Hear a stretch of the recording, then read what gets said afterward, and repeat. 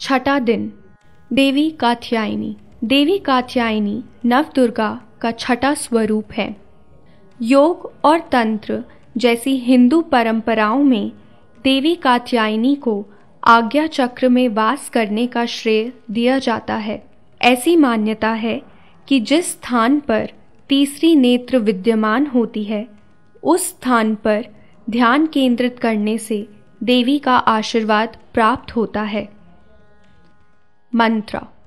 स्वर्ण आज्ञा चक्र स्थिताम षष्टम दुर्गा त्रिनेत्राम वराभीतिकराम शगपदधराम कात्यायन सुताम भजामि। मंत्र का अर्थ मैं उस देवी की पूजा करती हूँ या करता हूँ जो दुर्गा का स्वरूप है जो त्रिशूल को धारण करे हुए हैं और जो त्रिनेत्री के नाम से भी जानी जाती हैं।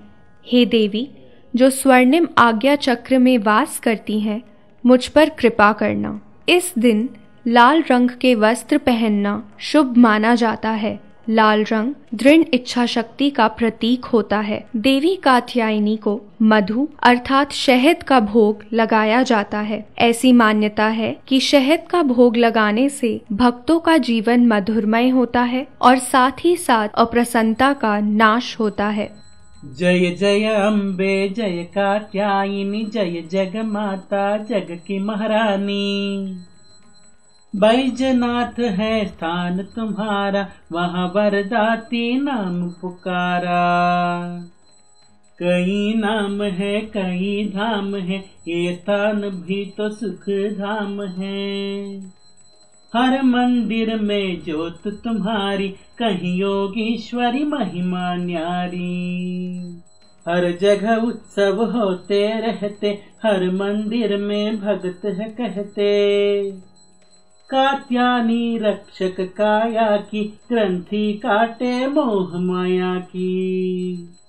झूठे मोह से छुड़ाने वाली, अपना नाम जपाने वाली। बृहस्पतिवार को पूजा करिए, ध्यान कात्यानी का धरिए। हर संकट को दूर करेगी, भंडारे भरपूर करेगी।